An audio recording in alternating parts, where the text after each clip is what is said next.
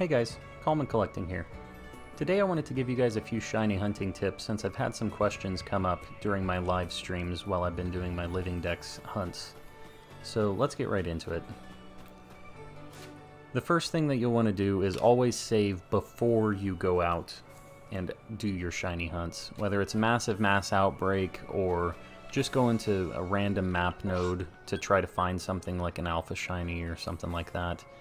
Uh, what it'll let you do is scope out what's in the area, and if you don't find anything or you don't like what you find, you can go to another area and check it out.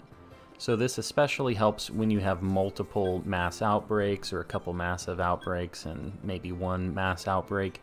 You can pick and choose which one's going to have the best stuff for you. My next tip is just about picking where to go when you load up into your map. A lot of times you'll have multiple outbreaks listed on your map and it might be a little overwhelming to try to decide which place you want to go first. With me, I know I need a lot of different shinies, so any of these will work for me most of the time. But I find myself prioritizing regular outbreaks, which I know seems a little counterintuitive, but regular mass outbreaks actually have a higher shiny chance per Pokemon than you have in massive mass outbreaks. Now, the big benefit of massive mass outbreaks is each Pokemon has a 1 in 200-ish chance to be a shiny, but you get a lot more of them. In a regular mass outbreak, you might have more Pokemon in the outbreak and they're all a specific Pokemon, but you're kind of stuck at those 1 in 100-ish chances for just that one Pokemon 12 times. Whereas over here you have 1 in 200-ish chances and you have 10 different nodes, so you end up seeing a lot more Pokemon. You have a higher chance of seeing a shiny and a massive mass outbreak overall. But if you needed a Pikachu, let's say, or a Raichu even, you could go to this node knowing that you have a pretty high chance of finding at least a shiny Pikachu on this. So that's usually how I'll prioritize these different nodes. So now that we've covered some of the basics, let's talk about a couple massive mass outbreak specific things. When you go over here and talk to Mai, you give her 5 Aguav berries and you can see what Pokemon are on the map. These Pokemon don't change, so if you are running low on Aguav berries, you can go here, talk to her, see what Pokemon are out here, and you could screenshot it or take a picture with your phone and reload after maybe you only get and you clear a handful of them you can reload this area, all of these Pokemon will stay in these areas. So you can go and check out every single node, even if you do run out of time. The next thing I want to talk about is the time limit that you have when you're in a massive mass outbreak. So when you're in a massive mass outbreak, you are being timed. I believe it's around 8 minutes that you have to clear the entire outbreak. Now, that seems like not a whole lot of time, but there are a couple things you can do to help kind of preserve the time that you have. Um, when you're in menus and you're in your home menu and everything, you're not actually burning time for the massive mass outbreak. And one other thing that I use a lot while I'm doing these massive mass outbreaks to save time is if there's an aggro Pokemon or even just any regular Pokemon, you can go to those nodes and you can battle the Pokemon. And it will not take any time from the massive mass outbreak while you're in that battle. So if you compare the time that it takes to catch four Pokemon from a massive mass outbreak and battle four, it ends up being a lot faster for the time perspective to just battle all of them, even though it technically in real world time takes longer to beat all of these, you're actually not burning any time at all while you're doing this. Whereas when you're catching the Pokemon, you have to wait for each of the Pokeballs to shake. Hopefully you catch all four of them in one go, but a lot of times one will break out or two will break out. You'll have to chase them down and throw Pokeballs at them. So if you're really crunched for time and you'd like to check all of the nodes, this is something that I really recommend doing, is just beating all of the Pokemon one by one, and that'll just save you some time on the outbreaks. You can clear everything in one go. When clearing out a massive mass outbreak node, I only ever clear out the first four Pokemon in the outbreak. A massive mass outbreak node can have anywhere between uh, 6 to 10 Pokemon uh, in that ballpark, and clearing out the first four lets you see eight of the total Pokemon in that node without having to spend a whole lot of time on it. If I really wanted another, you know, a copy of the Pokemon from this node, I could go and I could clear the next four, but I might not get any more Pokemon to spawn after that. I might only get, the best case scenario would be I get a couple more. So your odds just start getting lower and lower after you beat those first four and you've seen the first eight of the node. So a lot of times I don't bother with going any further than that. But that's a good way to just kind of see a, a lot of Pokemon in a short amount of time and not have a whole lot of investment into it. Another little tip that I would always recommend is even if you don't need a certain Pokemon in a massive mass outbreak, like this Psyduck here, I don't need Psyduck or Golduck for my living dex anymore, but there are already four spawned in the world, so if there's another Pokemon in that vicinity and I'm not crunched for time, a lot of times I'll just fly by and see the first four of that Pokemon that are already spawned in. Sometimes you'll end up getting a nice free shiny out of it, and uh, it'll just be a bonus that you can trade to a friend or give away or something like that. So they're all already here. You might as well just take a look if you've already gone through everything else, and you'll see when you follow the tips that I'm giving you today, you'll be able to get through every single one of these nodes with time to spare. Once you start getting a few of these Pokemon that you don't really need, you can fully clear quite a few of these nodes and not have to spend a whole lot of time and be down to the wire on the massive mass outbreak time limit. My next tip is just a general one. Once you've finished a massive mass outbreak or a regular outbreak, if you haven't found a shiny or something that you wanted to keep, uh, one thing you can do is just reset your game. Since we saved in town, you'll end up getting all of your resources back that you spent during that massive mass outbreak. And you don't have to commit to losing 50 jet balls, let's say, because you caught a whole bunch of things trying to find a shiny. This is a good way to help make it so you aren't spending a bunch of extra money, especially if you're having trouble getting your money kind of just stabilized. And once you get into the late game, you'll start building money up, but this is a nice little way to just conserve. My next tip is just about cycling the mass outbreaks that you have available to you at any given time. Uh, right now we have these three available to us, but if I didn't want anything or I've checked all three of these already and I know there's nothing that I really want to get, one option is just going to one of the other nodes, or any of these nodes really, loading in, and then just leaving by going back to Jubilife immediately. But a lot of times that's a little bit of a wasted time that you could be using on something else. So one thing that I do a lot when I'm resetting is I'll go into the Crimson Mirelands. I will look for shiny Unowns in the cave after you get that in the end game. Uh, you can also check for a shiny alpha. You can do a circle around a certain region, right, just to see if you get lucky with a random shiny. And you'd be surprised how many you find, especially once you get into the end game and you get the shiny charm. Your shiny chances are really high. So that's going to be my next tip as well. My next tip seems really simple, but it's something that I think people don't really consider a lot. Massive mass outbreaks and regular mass outbreaks are not the only way to get shinies. Now, they do give you really good chances of finding a shiny Pokemon, but they're not the only way, and especially once you have the shiny charm, you have really high chances of finding any Pokemon on the map as a shiny. It ends up being 1 in 816 for any random Pokemon once you have the shiny charm because you have the completed dex for every single Pokemon in the game. And if you have a perfected dex, it's even better than that.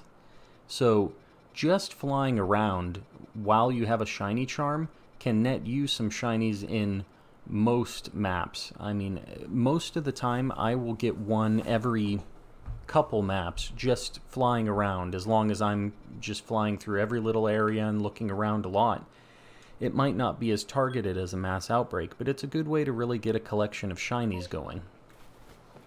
And alongside that tip, the other thing that I'd really recommend is say you're in a regular mass outbreak. You're not timed in a regular mass outbreak, or you've finished a massive mass outbreak, so there isn't a timer anymore. If you're planning on keeping the run anyways, it's really worth walking around and checking things, but you can also uh, find a lot of extra shinies by just not fast traveling. And I know that can seem tedious, but you see so many more Pokemon just flying straight over to the Pikachu or the, you know, wherever it is that you're trying to go. Uh, I end up finding a lot of shinies this way, just kind of flying through the map, taking my time. It doesn't always have to be a rush, right? You can just fly around and enjoy your time, and you'll find all kinds of random shinies and other Pokemon that you might need if you're collecting alphas. So it's something that can really help your collection and help you just find shinies that you'd otherwise miss. I mean, on stream, I'll have a couple of clips here, but you can see these are shinies that I decided to just check around after finding other shinies, and I was planning on resetting, but uh, after taking a little peek around the corner, what did we find? a shiny Kirlia or just anything else, right? So it's definitely worth taking the time to just look around a little bit, because it'll definitely help with the shiny charm. Another tip that's especially useful for people like me who are trying to complete a shiny living dex or who are trying to catch kind of tough to find Pokemon, like anything that spawns out of a tree only, like a Burmy or a Wormadam, or anything that's in a space-time distortion, is to go the extra extra mile and perfect the Pokedex entry for those types of things. It can be a bit of a burden to try to do it for everything, but for you know Pokemon that are really rare or you don't see very often, it'll really help your chances. It'll get you from a 1 in 800 chance to like a 1 in 500 chance. So it really will help and it's something that will eventually save you a lot of time. The next thing I want to talk about is what you should be taking with you when you go out on a shiny hunt. This is what I take with me on a normal run out in Pokemon Legends. Uh, I only have a handful of items, but I'll go over why I have each of them. Smoke bombs are used just to give yourself some cover if there isn't a nice patch of grass or something like that to sneak up on some Pokemon. To be honest, I don't use them a ton, but they're nice if you really don't want to scare something away Sticky globs are nice when the Pokemon are trying to attack you, but you don't want to have to battle them and deal with it. If you throw a sticky glob at a Pokemon, most of the times uh, it will stun the Pokemon, and you can just throw an Ultra Ball at it and catch it and not have to deal with battling it. Jet balls are something that you should always be carrying around with you. We'll talk a little bit more about how to get jet balls, uh, but the basic of it is is it has a really high catch rate when you haven't been seen by the Pokemon yet. So if you're throwing these from the grass hidden and you know they're smaller Pokemon, you can catch a whole horde of Pokemon from a mass outbreak using these and a lot of times you don't have to battle them, you don't have to run around. It just ends up being the most efficient way to catch Pokemon. Ultra Balls are nice to have just in case uh, you're seen, and you can sticky glob to Ultra Ball. You can buy these really easy at the shop, so I always have a bunch of them with me too. Gigaton balls are a little more niche, so these have a really high catch rate, but they obviously throw really, really slow, and they're hard to hit a Pokemon with. But if you're in a battle with a Pokemon, you don't have to worry about any of that, and these have a really high catch rate. So I keep these almost exclusively for when I have to battle a Pokemon and capture it. This is your best chance to catch a Pokemon uh, outside of, you know, just getting a back strike or something before battling them. But this is usually my go-to if I really want to catch something. I have each of the survival charms that you can buy over, over from the old lady over near the training grounds and uh, these just help so that you don't die. I honestly bought these for the Arceus fight, and they're just in my backpack now, just as a nice little safety net. They give you a little more health so that you don't die after a couple of attacks, you'll get four or five instead. Oran berries are nice because you can throw them and get a Pokemon to eat them. When a Pokemon is eating, they have a higher catch rate than they would be if you just threw a Pokeball at them when they hadn't noticed you. So this is a nice way to guarantee a catch of a Pokemon if you really, really need to get it and you don't want to risk it running away or something like that. So they're nice to have and they're really easy to get. Hopo Berries are just to restore PP for my attacks. Uh, it's just nice to have on hand all the time. The Aguav Berries are just for massive mass outbreaks so you can see which Pokemon are at each node and revives and max potions explain themselves. You know, you need to be, bring back Pokemon sometimes and you need to heal them. So that's pretty much what I have. Now, in that same vein, let's talk about money generation. A lot of times people ask me how I get the money to just continually buy jet balls. Like I said before, you do get money from catching Pokemon and turning it into the professor after doing an expedition, but that doesn't pay itself off. Uh, so another way to kind of supplement the money that you get is when you get all of these Pokemon in the boxes, you will need to release them at some point because you'll just end up with a whole bunch of things in the box that you don't need. When you release them, you get these grit items, and these are for raising the stats of your Pokemon. But after you've gotten pretty far into the game, you don't really need these anymore. You've used them on all of the Pokemon that you care about, and these are just kind of sitting in your box building up. I mean, you see I have almost 800 of a couple of them. So what you can do is you can sell these. You can sell grit rocks for 3,000 and you can sell grit pebbles for 800. And these end up becoming a pretty large amount of money after you build up some of them. And it's something that you get just from catching and releasing Pokemon. So this is something that you might want to check out if you're having some money troubles. And uh, it's a way to really help supplement the money that you get from just doing expeditions. The other big money generating item is nuggets. You get these from beating the sisters that are randomly placed on the maps. Uh, they can show up on any of the maps, all three of them, and battling them, they have one Pokemon, and after you beat them, they drop three to five nuggets once you're in the end game. This can be 30 to 50,000 uh, Poké Dollars for each time you battle them. So it's really worth making sure that you're beating them whenever you find them on the map. They'll pay for your trip and your next trip if you beat them and get these nuggets from them and sell them. This is really how you start snowballing your money and get a whole bunch of resources if you really need it. Now that we talked about what I carry around with me, let's talk a little bit more about jet balls. Jet balls can't be bought from the store directly, but you can craft them. They take apricorns, sky tumblestones, and iron chunks. They'll end up costing you about 700 per jet ball, but this ends up paying itself off usually. You get paid for catching Pokemon, so when you turn all of that stuff in at the end of a, a map and at the end of an outbreak, you'll get a bunch of the money back. So a lot of times you'll be able to come back here and just refresh the jet balls that you use during that outbreak. I hope some of these tips help you guys out. And if you have any other questions, feel free to comment down below or check in on one of my live streams as well. I'd be happy to answer your questions there. Happy hunting.